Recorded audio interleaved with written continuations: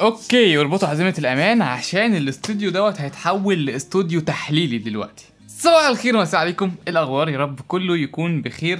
أنا عارف الناس بقى فاتت يا جماعة ما نزلوش فيديوهات فأنا بعتذر على كده. إن شاء الله الفترة الجاية فيها فيديوهات كتير. واللي متابعني على الإنستجرام عارف إن أنا الفترة اللي فاتت كنت already بصور حاجات للفترة اللي جاية عشان هي هتبقى فترة جامدة جدا. ولكن المهم مش ده اللي هنتكلم عليه النهارده أنا من كام يوم كنت عايز أصور فيديو أتكلم عن منتجات ابل الجديدة اللي هتنزل قريب جدا. من ضمنها الساعة بتاعت ابل والايباد بتاع ابل اللي المؤتمر بتاعهم لسه خلصان من خمس دقايق بالظبط. ولكن قلت بدل ما أطلع أقول كلام ويطلعوا يقولوا كلام تاني هعمل فيديو بعد المؤتمر على طول عشان يبقى عندنا على الأقل حبة معلومات مؤكدة. رغم إن السنة كان فيها أمراض ووباءات وحاجات كتير فكان صعب على معظم الشركات اللي هي تعمل حاجات جامدة جدا ولكن ابل السنة دي تقريبا هي منزلة منتجات بالهبل. عشان كده مفيش مؤتمر واحد ده في أكتر من مؤتمر كمان في آخر السنة ديت اللي هو كان أولهم النهارده وكان في مؤتمر قبل كده بتاع ال iOS 14 فابل السنة دي عندها كمية حاجات كتير عشان تعلن عنها. يعني كده جايزة أحسن event online تروح لأبل بدون منازع رغم إن ده حتى مش ال event الكبير بتاعهم بتاع الايفون الجديد ولكن ال event فعلا يعني مقارنة بأي event تاني شفته اونلاين فهو كان رهيب جدا. كان في حاجات بتطير وحاجات بتخش وحاجات بتطلع كده و... ياه المهم خليني أقول لكم بسرعة كده ابل السنة دي المفروض هتعلن عن إيه. أول حاجة ابل السنة دي أعلنت خلاص عن ايفون اللي هو iPhone SE ولكن الفترة اللي جاية المفروض هتعلن عن أربع ايفونات جداد. iPhone 12 و iPhone 12 Max و iPhone 12 Pro و iPhone 12 Pro Max النسخه الزيادة هي ال iPhone 12 Max ال iPhone 12 Max هتبقى نسخة أكبر من الآيفون الرخيص. دي حاجة كويسة لأن الآيفون 12 اللي جاي هيبقى تقريبا حجمه قد ال iPhone 6S اللي معايا ولكن من غير حواف خالص. الايفون 12 اللي جاي هو هيبقى انسب موبايل لأي حد بيحب الموبايلات الصغيرة. وأنا منهم جدا أنا بحب جدا الموبايلات الصغيرة. لكن لو أنت تحب الموبايلات الكبيرة نسبيا وبرضه عايز تجيب الأيفون الرخيص فهتروح بقى للأيفون 12 Max ده كده بالنسبة للموبايلات. في بقى قسم الآيباد. النهارده تم الإعلان عن اتنين آيباد. واحد اسمه الآيباد بس مفيش حاجة بعديه.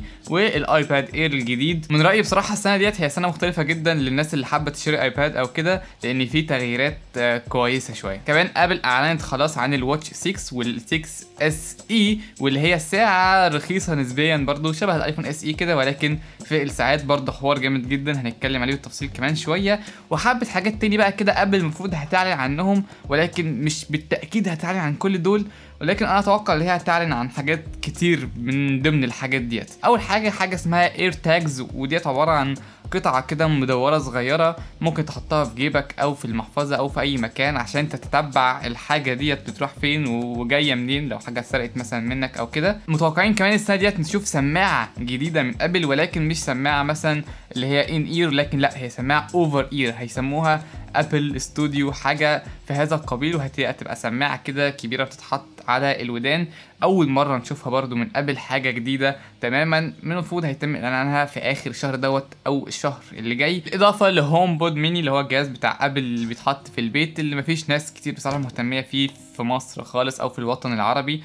عموما Siri مش أحسن حاجة بصراحة عشان نجيب لها HomePod نحطها في البيت ولكن كمان هيتم إعلان عن ال AirPower والمفروض دوت زي wireless charger بيشحن أكتر من حاجة في نفس الوقت اللي هي برضه حاجة مش جامدة خالص وبقالها كتير بتتعمل ولكن بالنسبة لأبل يعني لسه هيعلنوا عن حاجة شبه كده. أخيرا وليس أخيرا ال MacBook بتاع ابل المفروض برضه هيتم الاعلان عنه السنة ديت في ال event اللي جاي. ده برضه حاجة حماسية جدا بالنسبة لبعض من الناس عشان هيبقى مبني على ال processor بتاعه يعني هيبقى فيه تغيير كبير عن ال processorات اللي فاتت. لكن موضوع كبير بصراحة وأنا مش عايز أخش فيه بالتفاصيل عشان ما أقعدش أتكلم كتير بقى والفيديو يطول فخلينا النهارده نتكلم على حاجات معينة. أول حاجة خلينا نتكلم عليها هي الايباد الجديد بتاع شركة ابل الايباد بس. هو اسمه ايباد ودوت المفروض عدى يعني أول ايباد اتعمل كان من 10 سنين فاتوا فالايباد دوت عموما بيبقى سعره أرخص من ال iPad Air وال iPad Pro ده تقريبا بيبقى سعره في range 300 أو بالظبط 300 39 دولار وده سعر يعتبر رخيص جدا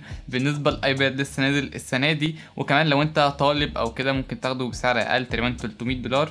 ولكن هنا انت مش بتاخد أحسن حاجة بسعر رخيص لأ انت برضو لسه عندك الحواف القديمة بتاعة الايباد اللي إحنا اللي أنا عن نفسي كنت فاكر إحنا خلاص هنتخلص منها ولكن من واضح إنه لأ لسه في ايباد هينزل بنفس الشاشة الكبيرة بالحواف الكبيرة. ولكن مع ذلك في تحسن في ال processor. عندنا هنا ال A12 ودوت processor نوعا ما قوي مش أقوى حاجة ولكن بالنسبة لأن أنت هتاخد iPad لسه بقى هيجيله تحديثات قدام كتير. مش بس كده كمان ال iPad الجديد هو ال iPad بس بيدعم ال Apple Pencil وهو واضح جدا إن ال iPad دوت موجه أكتر للطلاب للناس اللي بتدرس أو الناس اللي عايزة تخش مجال أو الحتة بتاعة ال iPad وعمرها ما جربته وعايزة في نفس الوقت مثلا تجرب ال Apple Pencil فأنت عندك iPad هنا رخيص أداؤه مش أقوى حاجة ولكن هيبقى قوي جدا لو أنت دوت مثلا أول iPad تمتلكه فبالنسبة لك هيبقى حاجة جامدة برضو. هنتكلم على ال A12 فهو برضو processor مش ضعيف خالص. وأظن لأي حد جديد على ال iPad وعايز يشتري iPad جديد هيكون دوت iPad مناسب ليه. رخيص وفي نفس الوقت ممكن تستخدم مع ال Apple Pencil وأداؤه مش أوحش حاجة أو بالعكس. حلو شوية. ليه بقول حلو شوية؟ لأن هو بصراحة لا يقارن قوي مع ال processor اللي موجود في ال iPad Air الجديد. النهارده Apple اعلنت عن ال iPad بس وال iPad Air الجديد. ال iPad Air بيجي بمعالج ال A14 وأنا بصراحة مش عايز أدخلكم في ال technicals بتاعت ال processor دوت ولكن هو processor قوي جدا جدا جدا. انت ممكن تعمل يعني مونتاج على ال iPad دوت مونتاج للفيديوهات 4K بأريحية كاملة. ممكن بقى ال iPad دوت بصراحة مناسب جدا لأي حد عايز يشتغل بجد على ال iPad بتاعه. بالعكس يعني انت عندك ال iPad Pro المفروض كان هو المخصص لكده انك تشتغل عليه وتعمل عليه حاجات تقيلة. ولكن دلوقتي أنا بصراحة شايف انك برضو لو بتعمل حاجات تقيلة فال iPad Air الجديد دوت هيستحمله مش بس ال iPad Pro واكيد بقى هنا عندنا نفس التصميم الشاشة الجديد والحوافل قليلة نسبيا طبعا مش حواف آه، شبه ال iPad العادي. عندنا هنا بقى بصمة.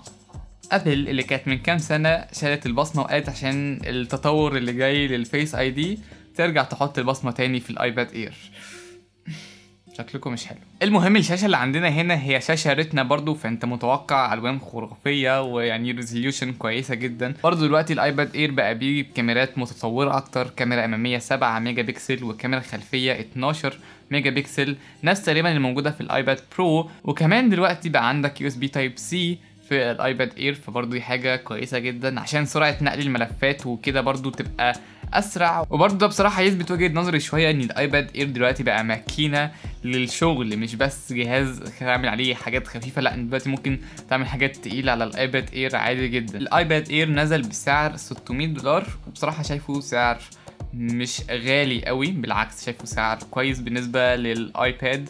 أنا بصراحة من الناس اللي مقتنعة ان ممكن في موبايلات Android بتساوي ال iPhone أو مش بتساويها تنافسها شوية وبتقدر يعني تواجهها شوية ولكن لما نيجي لل tablets والحاجات ديت مفيش أحسن من ال iPad عشان ليه نظام لوحده كده. هو في حتة تانية غير أي tablet Android أو Windows أو أي حاجة. برضه لازم أقول إن ال iPad Air دوت هيبقى تقريبا أحسن iPad لل gaming بالنسبة لسعره وال processor القوي جدا اللي فيه. هي غالبا أكتر حاجة بتميز ال iPad Air الجديد هو ال processor اللي فيه اللي هو يعتبر قوي بطريقة خرافية بالنسبة حتى للسعر بتاعه.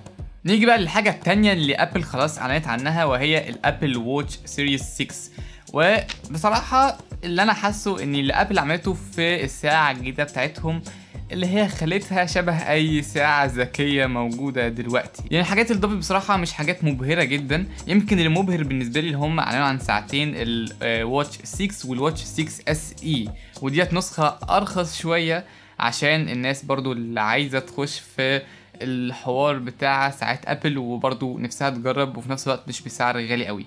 خلينا نتكلم على كل واحدة بالتفصيل شوية. أول حاجة عندنا في ال Apple Watch 6 بتيجي باللون الجديد اللي هو الأزرق الغامق أو اللي هو كحلي بصراحة بالنسبة لي لكن هو أزرق غامق. ودوت تقريبا نفس اللون الجديد اللي هنشوفه في ال iPhone. هنتكلم أكتر عن ال iPhone كمان شوية. ولكن ده اللون الجديد اللي بيجي مع الساعة. الحاجات اللي اضافت للساعة حاجات شبه ال sleep tracking اللي هو يشوفك أنت بتنام قد إيه.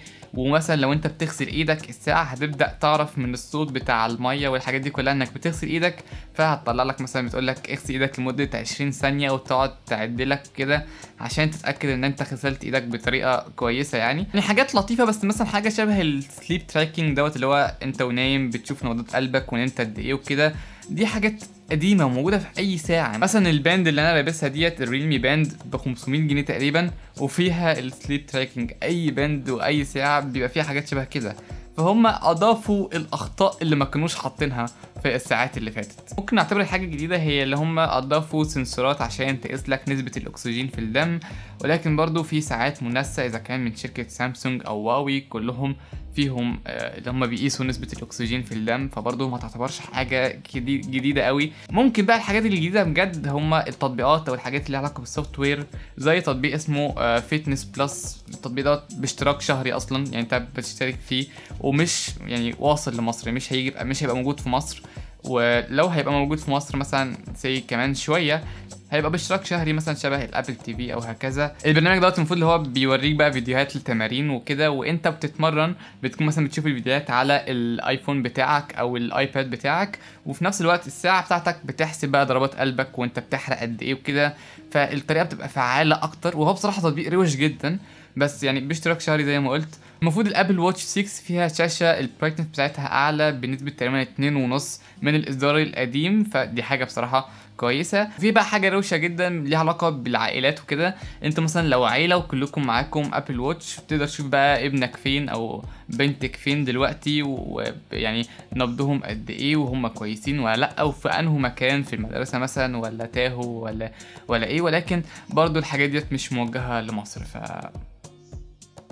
okay؟ والمفروض على حسب اللي هم قالوه إن ال Apple Watch SE هي هي بالظبط ال Apple Watch 6 وبنفس ال design بتاعها ودي حاجة خرافية في يعني إن هي نفس ال design بتاعها الجديد كده اللي شكله شيك أكتر ولكن بسعر أقل وفي نفس الوقت ب processor أقل شوية. بالإضافة برضو إن ال Apple Watch SE مش هتقيس لك نسبة الأكسجين في الدم فبرضو لو أنت النقطة ديت فارقة معاك فهم كده مسكوك من دراعك اللي بيوجعك لازم تجيب النسخة الأعلى. سعر ال Apple Watch 6 هيبدأ من 400 دولار ال Apple Watch SE هتبدا من 280 دولار يعني سعر كويس. وهم لسه سايبين ال Apple Watch Series 3 ب 200 دولار تقريبا. برضو اختيار مش أحسن حاجة اللي هنا اللي هي قديمة جدا. فاللي هو انت هتبقى محتار طب أجيب ال Series 3 ولا أجيب ال SE لكن أظن إن أكتر واحدة هتتباع فيهم هي ال SE النسخة الجديدة لأن هي رخيصة وبنفس ال design الشيك بتاع ال Apple Watch 6 طيب خلينا دلوقتي نتكلم عن الموبايلات الجديدة بما ان دوت فيديو مدمج كده عن الحاجات اللي Apple already خلاص أعلنتها النهارده والحاجات اللي Apple هتعلنها وأكيد هي الحاجات اللي إحنا مستنيينها أكتر وهي الموبايلات الجديدة. دايما كان عندنا موبايل صغير خالص وهو ال iPhone 12 العادي بيجي بحجم شاشه 5 وواحد من عشرة. وأكبر موبايل هيكون ال iPhone 12 Pro Max. دوت هيجي بشاشة 6 وسبعة من عشرة. بقى كده معانا الموبايلين اللي في النص ال iPhone آه 12 Max وال iPhone 12 Pro. المفروض الاثنين دول هيجوا قد بعض بشاشة 6 وواحد من عشرة انش. واظن دوت يبقى الحجم المناسب يعني بالنسبة لي معرفش ممكن حد يكون بيحب الموبايلات الكبيرة أو الصغيرة معرفش المهم الحاجات اللي تعتبر أكيدة ومتأكدين منها هو ال design بتاع الموبايل. ال design بتاع ال iPhone 12 وال12 Pro هيكون بنفس تصميم ال iPhoneات القديمة شبه ال iPhone 5S أو ال iPhone 5 وال iPhone 4 كمان اللي هو التصميم ال boxy دوت اللي هو الحواف كلها كده مسطحة. مفيش انحناءات مفيش دواير كده فالمهم ده هيبقى التغيير الجذري بالنسبة لل design بتاع الموبايلات الجاية من شركة Apple شكل الكاميرات هيكون هو هو بالنسبة لل iPhone 12 و12 Max في الحالة ديت؟ هيكون في كاميرتين بس واحدة wide وواحدة كاميرا أساسية. مش هيبقى فيه كاميرا telephoto. وال iPhone 12 Pro وال Pro Max هيبقى فيهم ثلاث كاميرات برضو بنفس شكلهم. بالإضافة ل sensor ال LiDAR اللي كان موجود في ال iPad Pro ودوت هيعمل إيه في ال iPhone؟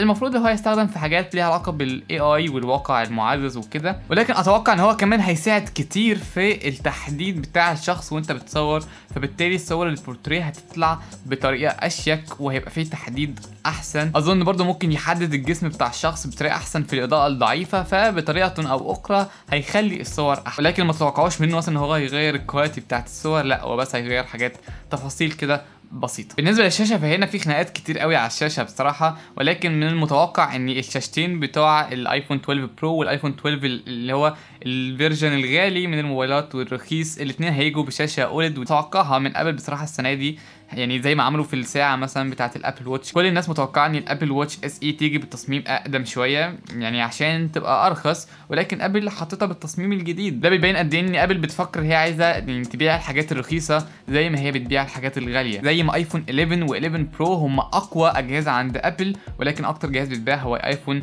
11 وال iPhone XR ف Apple عارفة النقطة ديت كويس فلو حطت شاشة OLED في ال iPhone 12 وال12 Max هتبقى نقطة كويسة.